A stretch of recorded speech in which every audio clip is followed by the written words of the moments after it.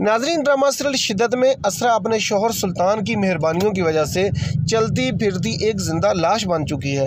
اس میں زندگی کی چاہت تقریباً ختم ہو چکی ہے اور روبوٹ کی طرح روزمرہ زندگی کے امور تو سر انجام دے رہی ہے، مگر اصل اسرا ماضی کی تلخ یادوں کی طرح اپنی روح سے ہی بچھڑ چکی ہے۔ اچھی بلی ہنستی، کھیلتی، خوبصورت لڑکی اسرا انجس انجام تک کیسے پہنچی اور اس میں اسرا سلطان یا پھر اسرا کی فیملی، قصوروار کون ہے؟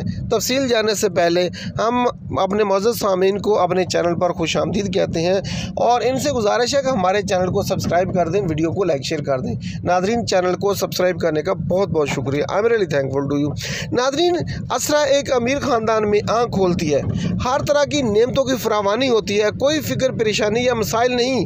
ہر طرف خوشحالی خوشحالی۔